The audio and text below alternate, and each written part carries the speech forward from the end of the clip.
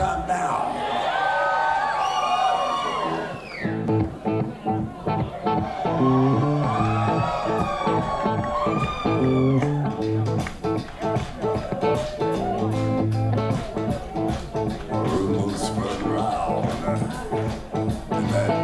Zealand town about that shack outside the grades. You know what I'm talking about.